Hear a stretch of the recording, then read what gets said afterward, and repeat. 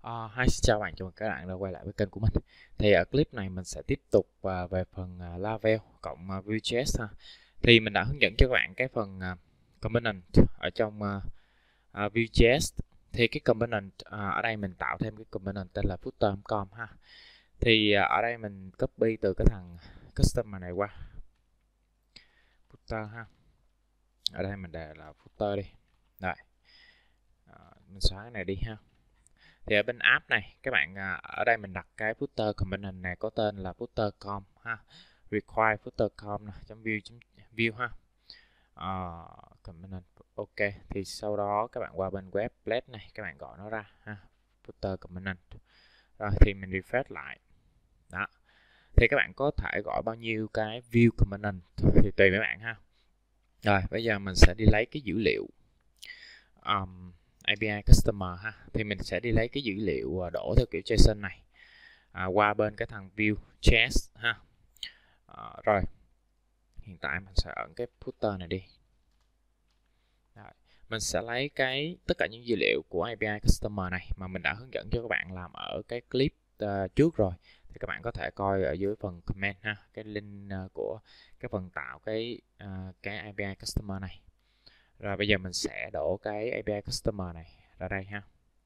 Các bạn quay lại cho mình uh, Customer. Đây.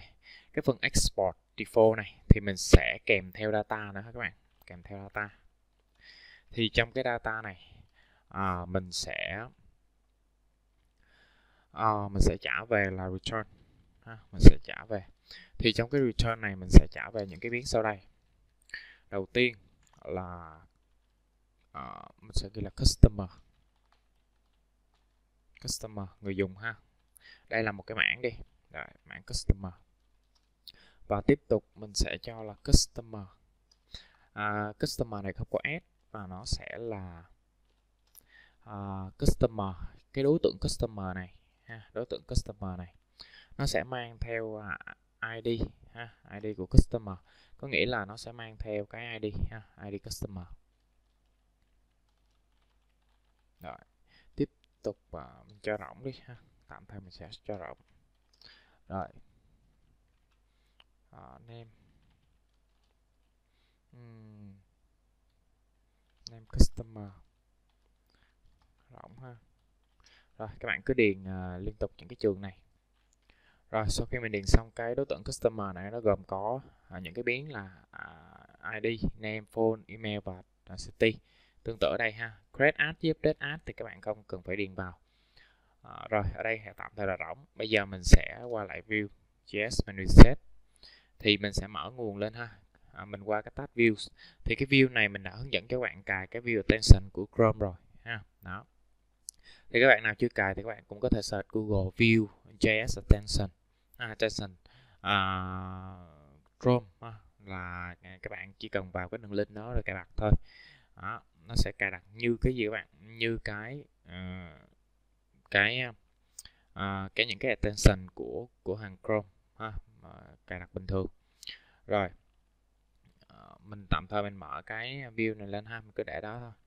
Rồi tiếp tục uh, bên trong cái customer này uh, mình sẽ cho một cái biến nữa ha cho một cái biến nữa gọi là cái customer ID đi. ID customer đi ha rồi ID customer này mình bỏ riêng ra. Rồi tiếp tục là pagination. Là phân trang các bạn ha. Phân trang mình sẽ cho nó là một cái đối tượng ha một đối tượng phân trang. Rồi edit. Ở đây mình sẽ cho là for ha để mình thêm sửa xóa cho các bạn ha. nếu mà gì nếu mà edit bằng true thì là sửa còn edit bằng for thì là à, delete hoặc là thêm ha, thêm dữ liệu. Rồi data này bây giờ mình sẽ ghi cho nó một cái function ở dưới cái data này các bạn. Ha, ở dưới cái data này. Ờ, ở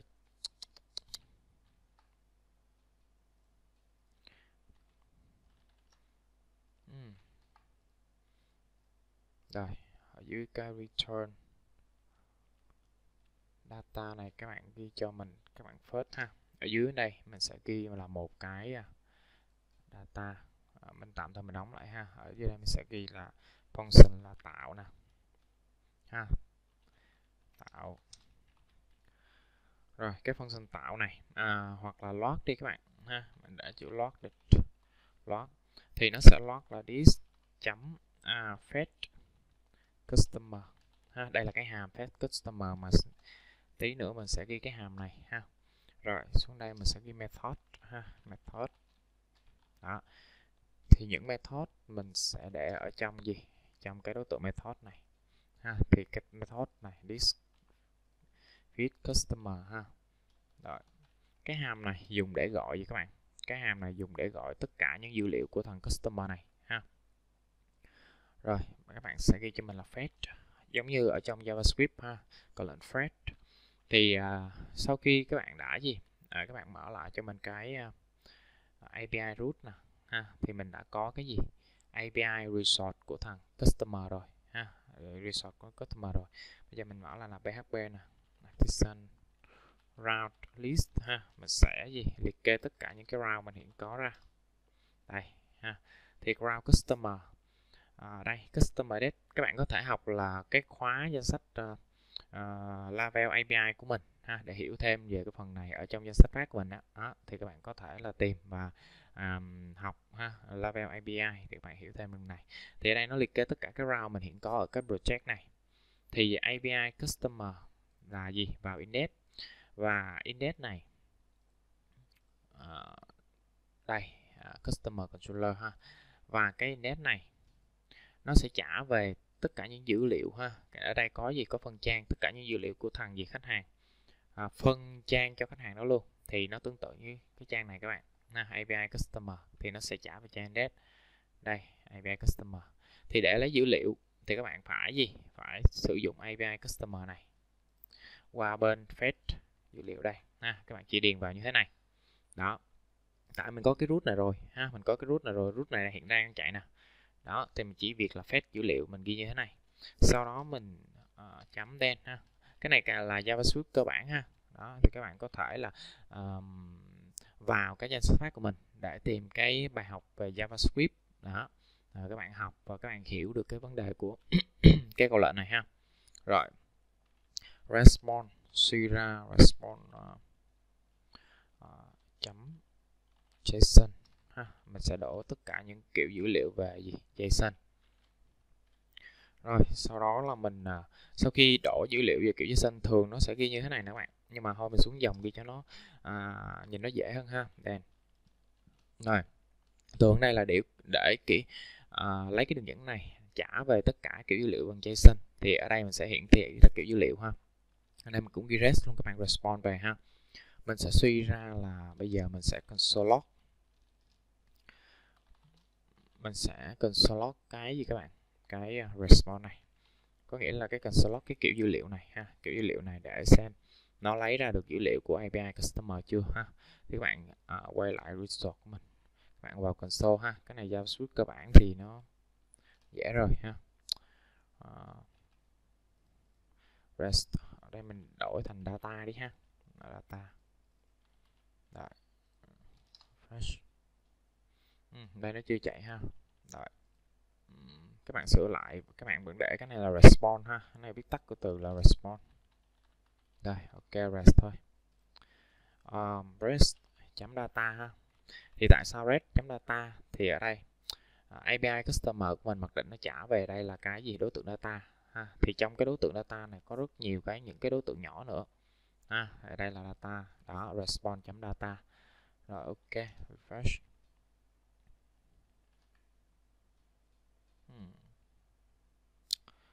Hay nó vẫn chưa chạy ha? À, tội lỗi quá các bạn. À, mình à, chưa chạy cái gì các bạn. PHP Artisan à, à, NBM run ha NBM run. Mình chưa chạy cái đó. Mình chưa có compile à, chạy nào các bạn nào chạy rồi thì thôi ha. What? Ở đây là mình à, chưa chạy nè. Đó. Rồi bây giờ nó đang compile ha các bạn cho mình thêm là cái catch euro suy euro nữa ha để mình bắt lỗi nó. Rồi tiếp tục mình rồi ok nó chạy bình thường ha đang chạy đó các bạn nó đang compile rồi sau khi compile rồi mình sẽ refresh lại thử.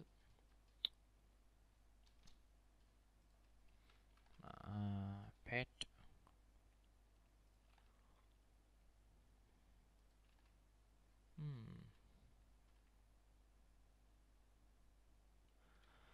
à, ở đây các bạn đổ lại cho mình là thay vì function các bạn ghi như vậy ha. Thì các bạn hai chấm cho mình ở chỗ function các bạn ghi như vậy cho mình ha. Đó à, method function kiểu như vậy. Rồi fetch uh, các bạn giữ nguyên ha. Ở đây các bạn thêm cho mình catch arrow zero arrow nếu bị lỗi ha. Rồi ở đây mình sẽ refresh lại nè các bạn. Đó thì nó chạy ha. Nó sẽ đổ ra dữ liệu của mình là từ uh, từ 1 cho tới 10 ha. Tại mình phân trang. 10 uh, à, mình đang phân trang các bạn ha là 10 customer trên một trang. Đó. Rồi thì ở đây nó ra ở đây nó còn có chiều dài 10 nè. À, ở đây nó không hiển thị phân trang ha nó hiện chưa hiển thị phân trang nó chỉ đổi dữ liệu ra thôi. À, rồi. À, sau khi mình lấy được dữ liệu rồi thì bây giờ các bạn sẽ à, làm tiếp ha à, rồi sau khi có dữ liệu rồi bây giờ mình hiển thị ở trong cái customer uh, customer body này ha các bạn customer body này. Thì để hiển thị ra thì mình sẽ gì các bạn? À, mình sẽ body. Bây giờ mình thử hiển thị ra thử body coi nó chạy không ha.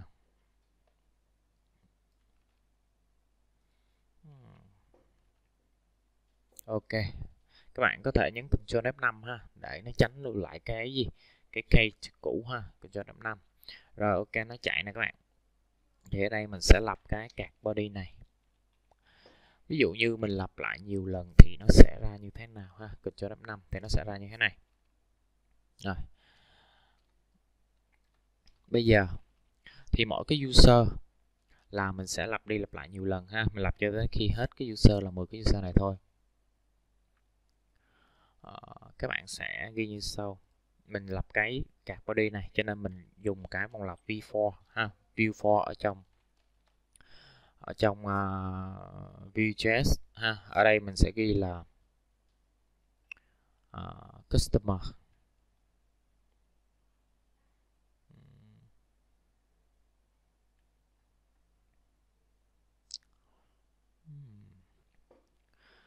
Um, các bạn à, cái slot ở đây ở đây có customer nè. Thì các bạn đổi lại cho mình là this ha customer. Mình sẽ gán cái customer này ha là cái biến này nè các bạn ha. Hiện tại là mình khai nó là một cái mảng ha. Thì mình sẽ gán lại ngược cho nó là cái mảng này ha. Thì nó sẽ là bằng rest dot data ha rest chấm data rồi coi như mình đã gán lại cho nó ha gán ngược cái mảng này, này lại cho nó thì bây giờ mình sẽ dùng vòng lặp before của thằng this customer này. Thì mình sẽ ghi là uh, show customer ha. In in gì các bạn. In cái nguyên cái biến customer nguyên cái mạng customer này. Đây là vòng lặp before ha. À, rồi à, tạm thời mình ghi nhiêu đó thôi. Bây giờ mình sẽ ra mình refresh lại coi nó hiển thị bao nhiêu. Nó hiển thị 10 mảng nè các bạn. Ha nó hiển thị là 1 2 3 4 5 6 7 8 9 10 rồi ở đây các bạn sẽ gì? À, trong cái card body này các bạn phải cho nó một cái ID nữa các bạn ha các bạn phải cho nó một cái ID nữa. Thì nó sẽ gì? Tương thích là vby vby ha vby bằng ờ, uh, vby key ha mình sẽ cho nó vào là một cái key. Thì mỗi cái gì? Mỗi cái vòng lặp thì mình sẽ đặt là một cái key các bạn? Đó thì à, trong một mảng á, nó sẽ chạy từ 0 cho tới à, 10 10 phần tử đi. Ví dụ ở đây mình có 10 phần tử thì nó sẽ chạy từ 0 10 phần tử. Thì cái key này đóng vai trò là cái gì? Cái index của cái mảng đó ha? Để cho nó biết vị trí của cái mảng đó nằm đâu ha? Thì ở đây mình sẽ là show customer. Chấm như các bạn id customer ha? Id customer. Đây đây chấm id customer. Ở đây là mình à, uh, console mình uh, ở đây mình chạy tiếp console để mình um, giải thích cho các bạn hiểu ha. Console rest data đi. Rồi. Thì bây giờ mình chạy lại nè. Đó, nó chạy bình thường. Thì đây là cái key của nó là các bạn. À xin lỗi các bạn ha cái key là cái id của nó. Ha cái id customer mình gắn cái id customer vào ha. Rồi id customer. Rồi sau đó mình sẽ cho nó một cái à, à những cái thẻ b đi ha cái thẻ b. Rồi. Thì cái thẻ B này nó sẽ hiển thị những cái à, thông số ở đây. Là customer là show. Show ở đây ha. Rồi syntax ở trong uh, uh, dot bây giờ mình sẽ cho hiển thị cái ờ, cái name ra trước ha, là name customer. Rồi, name customer, cái cái này là cái cột cái cột ở trong đây nha các bạn, cái cột ở trong đây nha nha, cái cột ở trong đây. Chứ không phải là cái cột customer này ha các bạn, không, cái này là không phải, chưa, mình chưa gán. Mình sẽ gán những dữ liệu vào trong này và mình đem đi edit ha. Đó số customer là nguyên cái mảng customer mà mình đã lấy được ở bên ờ, data này ha, REST data. Thì mình chỉ việc là chấm số cột thôi ha. Đây là cái tên định danh nè. Sau đó mình chấm cái số cột ở trong gì? Trong cái mảng JSON này. Rồi các bạn cứ copy xuống cho mình ha.